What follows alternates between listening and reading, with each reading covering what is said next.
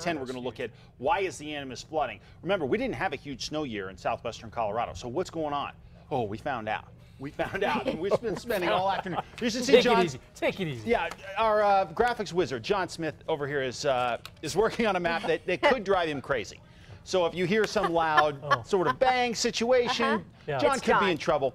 We may need to call somebody, but it's a good map, and we'll show you this tonight at 10. It's actually really interesting stuff and what's going on up in the four corners around Durango and around Farmington. More on that in just a moment. But around the metro area, we are increasing the clouds a bit. This is what it looks like right now in Durango. Actually, a vast improvement. They've had regular rain, well over an inch of rain in this area of southwestern Colorado over the past 24 hours or so, and of course the big time hail that fell in Farmington. Now we have those flood warnings along the Animas River where they are at flood stage right now at about 10 feet. So they are right at their flood stage. We continue with some showers tonight, and we're going to have some issues there with more flooding. And part of the issue is this storm system is right here, churning, sliding right along the state line between New Mexico and Colorado. So that's helping to produce more showers across the area, and occasionally we'll get pockets of heavy rain. That is definitely not helping the situation as those showers slide across northern New Mexico and southern Colorado. 88 degrees in the metro right now. South southwest winds at 8 miles an hour. Temperatures to the north 60s and 70s. Some 80s out east and then down across the south. It has been a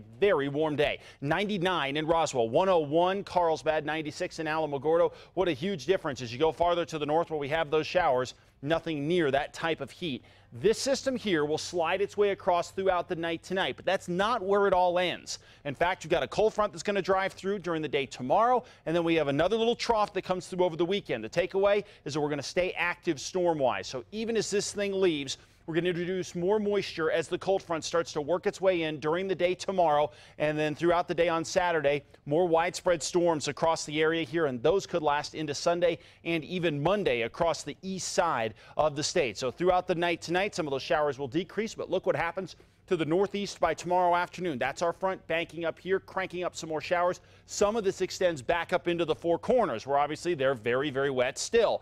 And then as we get into the day Saturday, another round of showers, but this is actually during the overnight hours. And you can see some storms around the I-25 corridor here, and then we break out with more coming up Saturday afternoon. Now, if you're looking for a bullseye location for a lot of the showers over the weekend, I think most of the action will be north of the I-40 corridor. So Albuquerque or Socorro or so northward should be the main areas to watch for more rain. Let's go region by region. Some showers and storms will continue in southern Colorado, and obviously that flood threat continues Saturday into Sunday. More showers, so we may not be out of the woods yet with the Anima. 76 in Gallup, 78 in Farmington, and 79 in Grants. Not too bad for tomorrow. Less shower activity, but more clouds and the chance at a shower coming up for Saturday. Not as much action across the southwest over the next couple of days with temperatures in the low 90s. Over to the southeast, partly cloudy, an isolated storm, but look what happens late in the weekend and into the beginning of next week. More storms on the way. Northeast, it may never stop storming. Friday, Saturday, Sunday, Monday, Tuesday, Wednesday, all days when we could see showers around the area. Northern Mountains, similar deal. We are going to be very active storm wise. Not necessarily as much tomorrow, but Saturday into Sunday looks pretty good for widespread scattered storms. 82 in Edgewood, 80 in Cedar Crest. Increasing clouds and some afternoon showers will be a possibility here in the metro area with temperatures in the mid 80s. Our best shot at grabbing a storm looks like it will be Saturday, but we could even grab one into the day on Sunday too. So you guys, we keep this wet pattern in place. All right. Thank you, Mark.